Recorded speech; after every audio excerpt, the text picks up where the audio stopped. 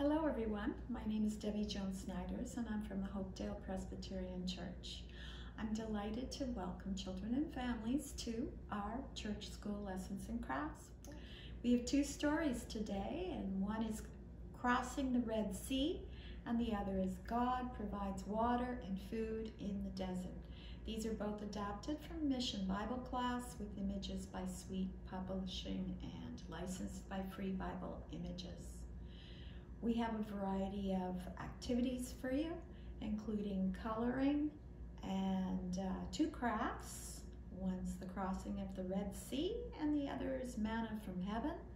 And we have a variety of other activities, including word searches, mazes, and crosswords. Today, we are going to hear about some miracles in the Bible. And this is with the story Crossing the Red Sea. God's people, the Israelites, had been slaves in Egypt for 430 years. Now they were finally free to leave and go and make a home in their very own land. God had chosen Moses as their leader, so they packed everything up that they had and followed him out of Egypt.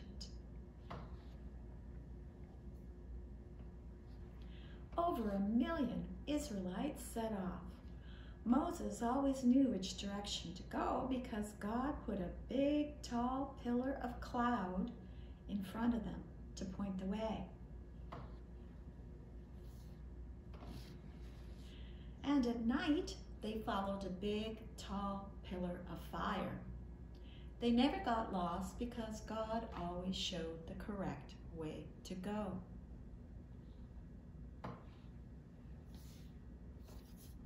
Eventually, the pillar stopped by the water called the Red Sea.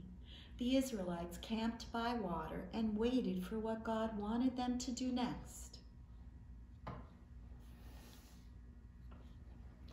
Meanwhile, back in Egypt, the Pharaoh and his officials began thinking about how all of the Israelites had left. God had proven through the ten plagues that he was more powerful than the king of Egypt and all of the Egyptian gods. At that time, Pharaoh and the people had told the Israelites to leave Egypt, but now they were having second thoughts. If all the slaves left Egypt, they thought, then who would do all of the work? So Pharaoh decided to chase after the Israelites and make them come back. He sent all of his horses and chariots and all of his horsemen and troops.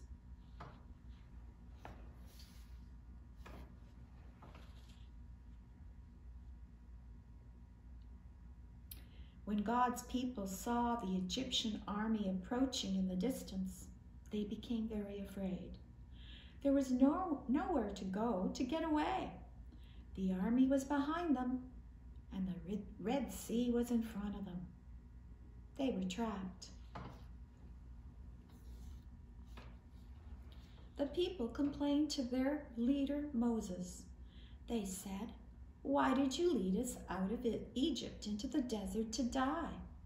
We would have been better off to have stayed in Egypt. But Moses said, Do not be afraid. Stand firm, and you will see how God will save you today the Egyptians can never win because God will fight for you. Now amazing things began to happen right before their very eyes. The people had thought that they were trapped because of the water, but they were about to see that God is so powerful, he can do anything. An angel of God had been traveling in front of the Israelites, and he moved back behind them along with the pillar of cloud. The cloud blocked the view of the Egyptians, and they could only see night and darkness.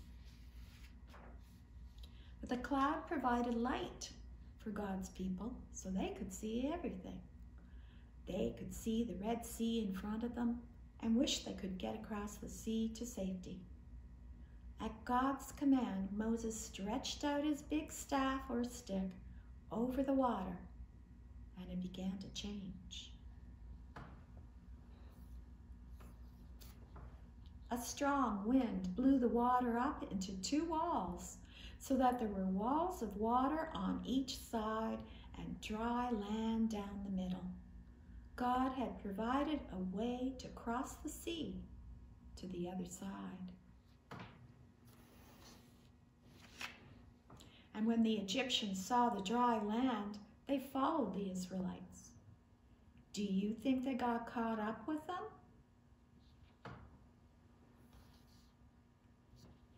No, they did not. Strange things began happening to them. The wheels of their chariots began falling off, and it became very difficult to drive. By the time the Egyptians realized that God was fighting against them, it was too late. Now that the Israelites were all safely on the other side, God told Moses to stretch his staff over the water again. Soon, all of the Egyptian army was drowned in the water. People were so happy that God had saved them from their enemies. Moses wrote a song about what happened, and uh, everyone sang it. And Moses' sister Miriam sang another part of the song. Then she got a tambourine and began to dance. Soon, all of the women were dancing with joy for all God had done that day. And if you were one of the people there, would you have joined the celebration? I think so. Our next story is called, called God Provides Water and Food in the Desert.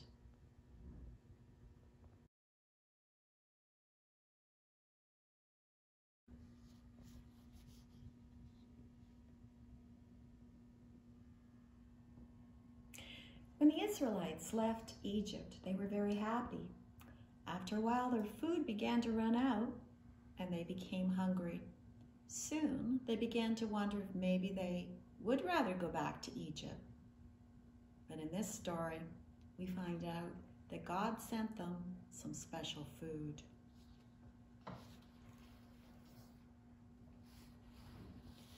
God's people were on a journey to a land that they would call their own. God promised them that they would have their own land, so this became known as the Promised Land. For years, the people had been slaves in Egypt, but now they were free and on their way to a new home. A man named Moses was their leader, and Moses' brother Aaron was his helper. To get to their new home, the people had to walk many miles across the desert.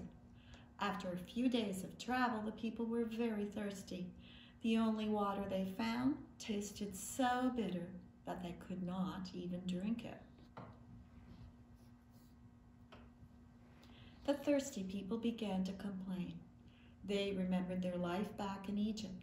They began remembering the good things about Egypt that they missed, and they forgot about the way that Pharaoh had treated them so badly. When the people began complaining and wishing that they could go back to Egypt, Moses prayed to God about it. He asked God to help the people.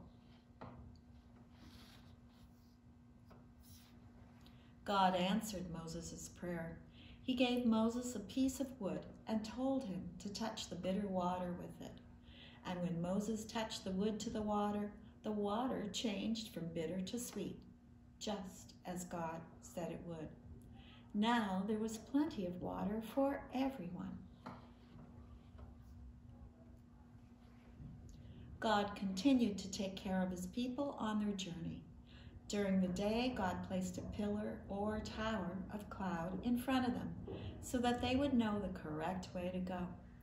Even though they were in a desert, he led them to other places where there was plenty of water to drink.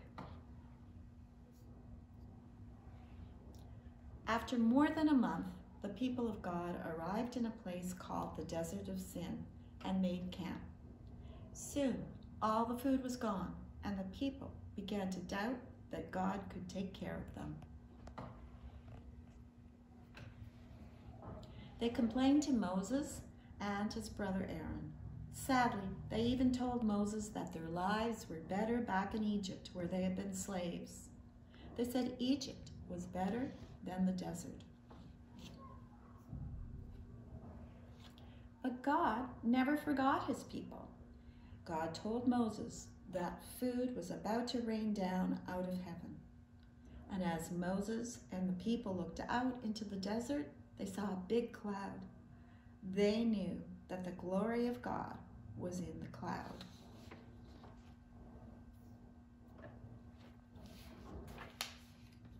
And God did just as he said. Every evening, a great flock of quail or birds would fly into the camp.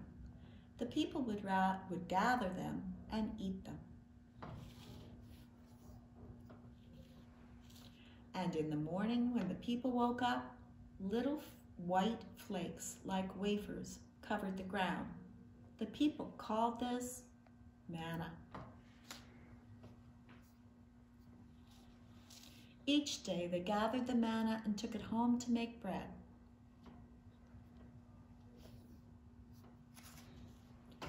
But God told the people to only gather enough manna to feed their family. God wanted them to do exactly as he said and remember that he would take care of them.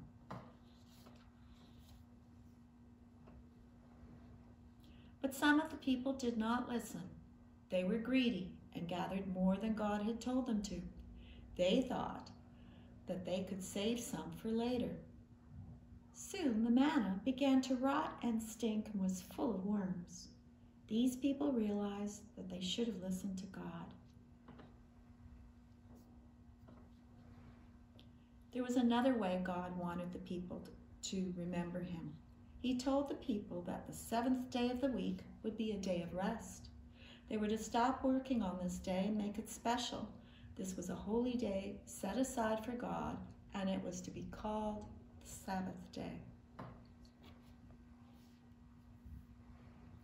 There would be no manna on the ground on the Sabbath day. Instead, people told the people sorry, God told the people to gather extra manna the day before the Sabbath and to prepare bread and save it to eat on the Sabbath. Unlike the other days, the extra manna did not rot and fill with worms. But once again, some of the people did not listen to God. They did not gather extra manna on the day before the Sabbath day, and on the Sabbath, they came to gather manna, but there was none. They really wished they had obeyed God.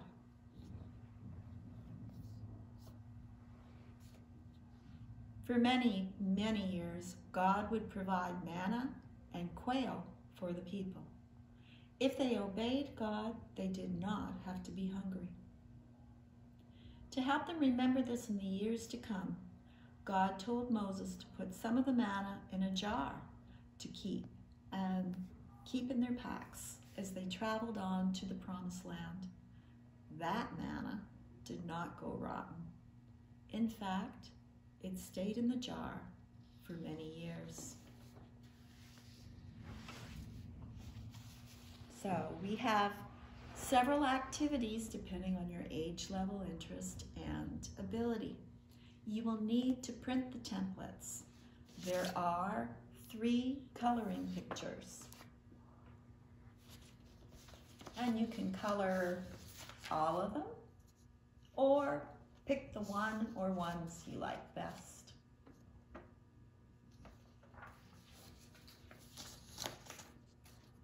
There are two crafts. The first one, is here, is a 3D crossing the Red Sea picture. I have not colored this, but this is to give you an idea of what it would look like. You will need to print the templates.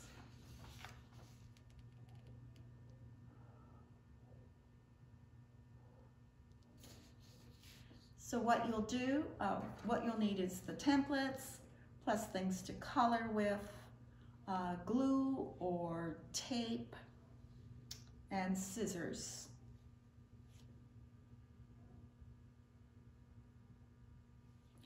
So first, decorate your templates. And actually you only need one strip here of the people and Moses. Then cut Moses and the people out, the one strip, and cut out the 3D picture. And what you'll see is that there are some little folding areas here. So you're going to cut the whole thing out, but this area here, this area here, and this area here, you will fold underneath. The same thing when you look at the people, this area is, you fold where the strip is. Here under Moses, there's a little strip to fold. So you want to put um,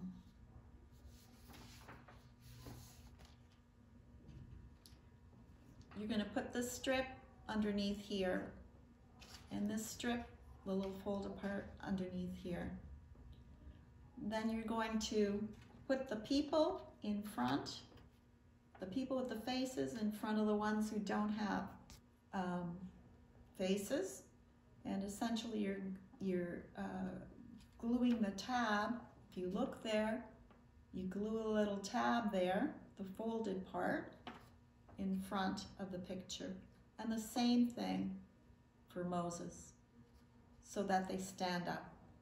And there you have it. There's the Red Sea, the water on either side, and the multitude of people passing safely across the Red Sea. Oops.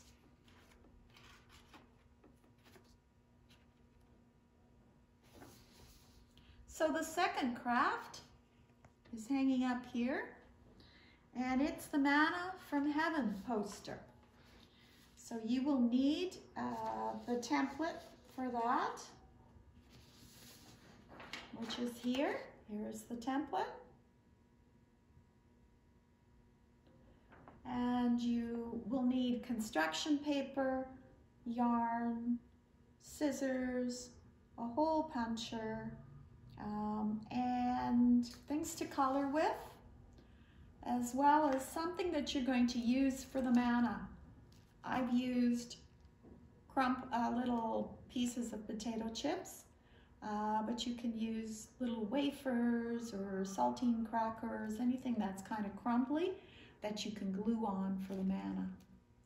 So once you, um, so what I would do is um, glue or staple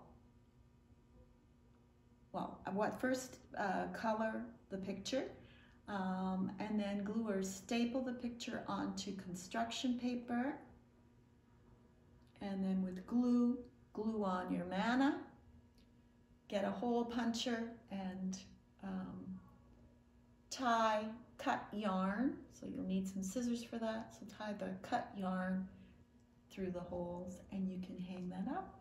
And then you have your, your poster about the manna from heaven.